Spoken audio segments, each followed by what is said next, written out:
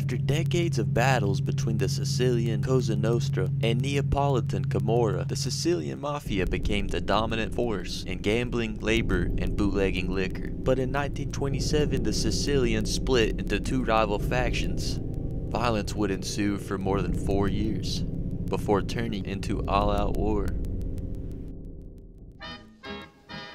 Joe the Boss Masseria became increasingly suspicious of the growing number of Castellamaresi in Brooklyn. He sensed they were gradually dissociating themselves from his overall leadership. The Castellamaresi faction of the Mafia were led by Niccolo Cola Schiro at the time, who tried to work with Masseria. Schiro would later be replaced by Salvatore Maranzano, who wanted to take control over New York's underworld. He had been sent over by Don Vito Cascio Ferro, the Sicilian mafia leader. Maranzano's chief of staff was Joseph Bonanno, and his chief aides were Joe Profaci, Gaetano Lucchese, and Joseph Magliocco. Gaetano Gagliano ran another gang that supported Maranzano. The Buffalo, New York mob boss Stefano Magaddino, another Castellamaresi, also supported Maranzano. Magaddino had a son named Peter Magaddino, who was a boyhood friend of Bonanno from his student days in Palermo.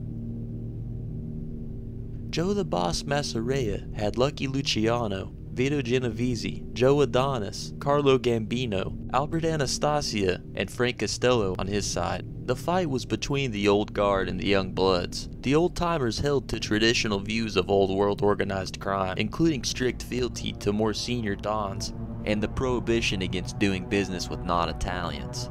This was what Masseria was protecting. The other side saw younger, up-and-coming crews like Maranzano's look to the future. They didn't care what nationality a promising business partner held, and felt it unwarranted to pay fealty simply for seniority. Though Luciano was part of the former guard, he found the war unnecessary and wanted to end its impingement on business. Nonetheless, violence between these factions spilled into the streets, usually in the form of hijacking or destroying each other's alcohol trucks throughout the 1920s. However, a third secret faction soon emerged, composed of younger mafiosi on both sides. Disgusted with the old world predilections of Masseria, Maranzano, and other old line mafiosi, whom they called Mustache Petes, this group of young Turk mafiosi was led by Luciano and included Costello, Genovese, Adonis, Gambino, and Anastasia from the Masseria side. Profaci, Gagliano, Lucchese, Magliocco, and Magaddino from the Maranzano side. Bonanno had been hired as Maranzano's enforcer, protecting his distilleries and doling out punishment wherever needed. He called Prohibition the Golden Goose and considered his time under Maranzano as an apprenticeship. Though Bonanno was more steeped in old school traditions of honor, tradition, respect, and dignity than others of his generation, he saw the need to modernize and join forces with the Young Turks. During the early months of the dispute, Masseria next began to put pressure on Vito Bonventre of the Good Killers, and Schiro Mob became a target as Castellamaresi born members of Schiro's gang began to threaten rival Joe the Boss Masseria's domination over mafia gangs. Masseria had declared death to all those of Castellamare's heritage after the clan had repeatedly resisted his heavy-handed rule, extortionate demands for tribute money, and subservience for the privilege to operate in America. Masseria forced Schiro to pay him $10,000 and step down as boss of the gang. Niccolo Cola Schiro, the group's official leader, turned out to be nothing more than an avatar of more senior men elsewhere. He paid Masseria $10,000 and then went into hiding, although in fact he was never heard from again. After the disappearance of Cola Schiro, Joe the boss attempted to install his own candidate as a new leader as he had with the other families. He supported Joe Parrino. However, Parrino was soon shot to death in a restaurant. Schiro's place as leader instead was taken by Salvatore Maranzano. Masseria issued a decree ordering the death of Maranzano. This event marks the beginning of the Castellamarese War.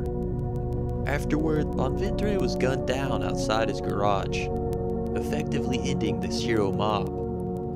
It's said that Masseria arranged for the Buccellatos to torture, mutilate, and burn Vito in his own bakery oven, as he had done to them in his own life. Upset that the conflict between Masseria and Maranzano was cutting into their business, other mafia gangs not involved in the conflict called a meeting of representatives in December 1930 in Boston.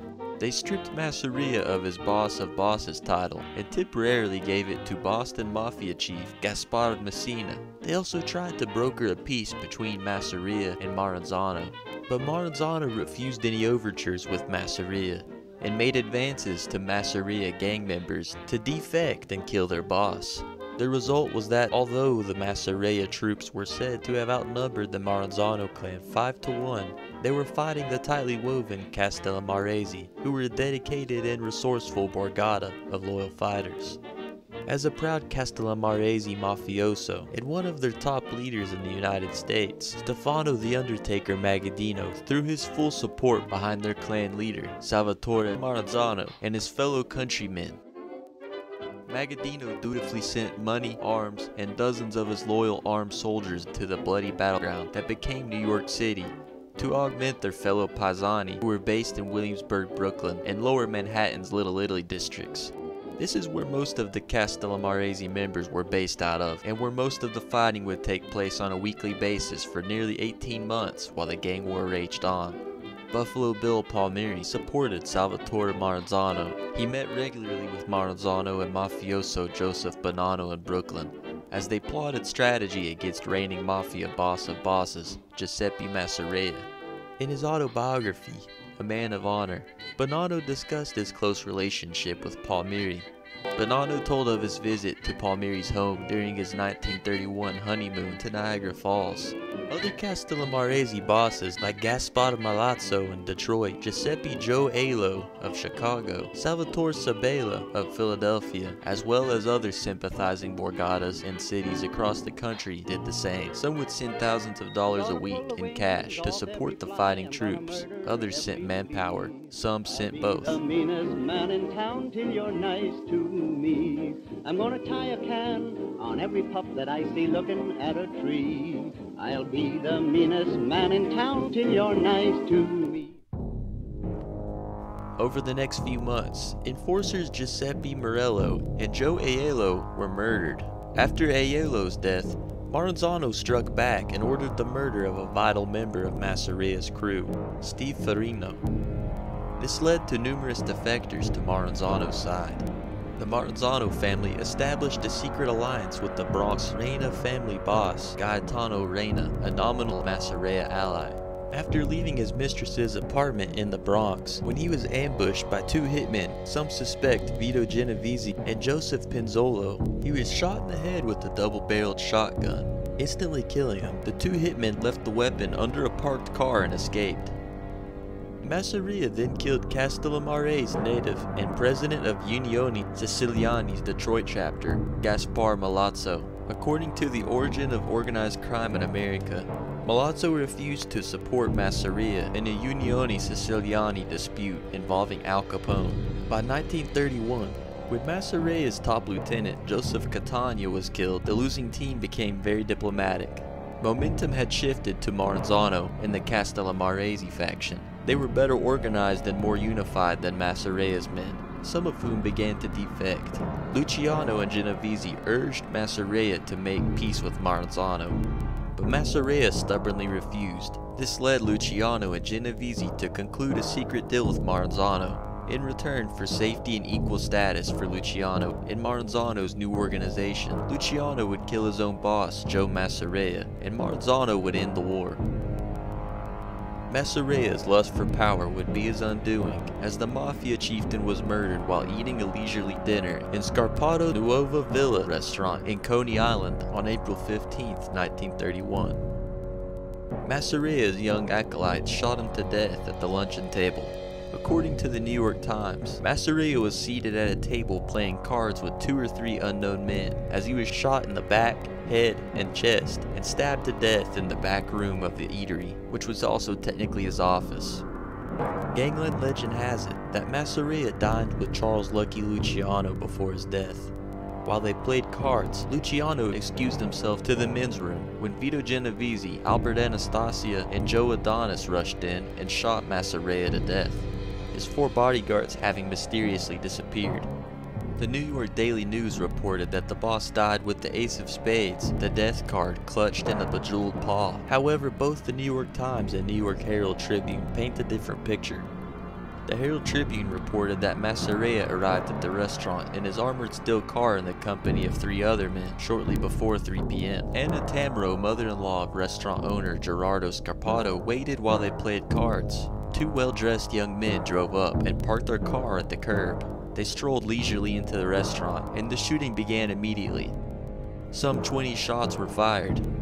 The two gunmen then exited, and without any visible signs of haste, entered their automobile and drove away. Masseria was hit with four bullets in the back and one in the back of the head, identified as 32 and 38 caliber. In an alley next to the restaurant, police recovered two revolvers. At the time, police suspected a gangster named John Silk Stockings as being one of the gunmen in Masseria's murder. This was based on the report of a confidential informant and the fact that one of the coats found at the murder scene was identified as belonging to Giustra. The case was dropped after Giustra was murdered on July 9, 1931. Nobody was convicted, and Luciano had a rock-solid alibi. Masseria is buried at Calvary Cemetery in Queens, New York. The autopsy showed that he died with an empty stomach. After Luciano and Genovese murdered Masseria, with the war won, Maranzano outlined a peace plan to all the Sicilian and Italian gang leaders in the United States. Under this plan, there would be 25 gangs, to be known as families, throughout the United States who would elect their own boss. In New York City, five families were established, headed by Capo de Tutti Capi, the boss of all bosses, Maranzano.